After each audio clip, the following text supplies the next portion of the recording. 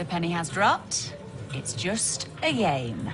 Tracy. Not a game. She ain't moving out of Hotel Barlow. She's just trying to wind us up again.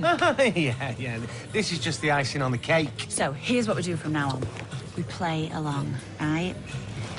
When she says we're moving, we say, that's nice, Trace. You want to hang with your bags? Huh? Called psychology, that, Steve. Tracy likes two things in life. Attention and money. And men. That's three things. Attention, money, and men. Yeah, all right, all right. But the man's already taken. So, if we play things my way from now on, you know, just act all cash, then we starve her of the attention, right?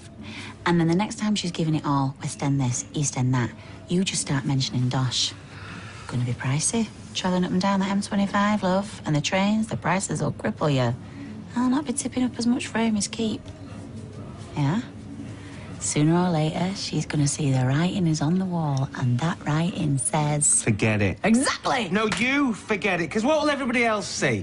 Family, friends, solicitors, Amy, a father that didn't put up a fight, Ah, no, this is a fight. a dad that didn't care. No, this is gonna work, Steve. I just Look, know I it can't will because take I know her. that chance, okay? This is not a game. Imagine it. Oh, all she'd have is 24-hour Tracy. No lectures from Ken, keeping her on the straight and narrow. No dinners from Deirdre. She'll not make it past Crewe. Missing her friends, missing us. Can you not trust me? For once in your life, No. I know that woman. No, Max will be fine, won't he? Because at the end of the day, that's all that counts, innit? Right, that's it. Everybody out. Oh, no, baby, wait. This is a joke, right? Oh, who's put him up to this?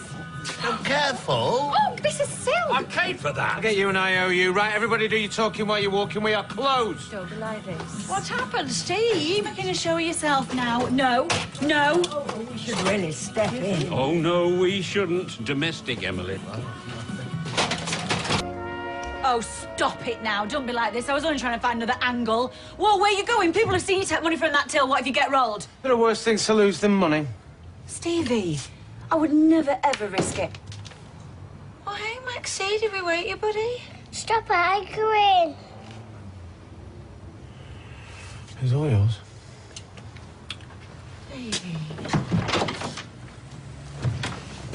Come here, my boy. I'm sorry.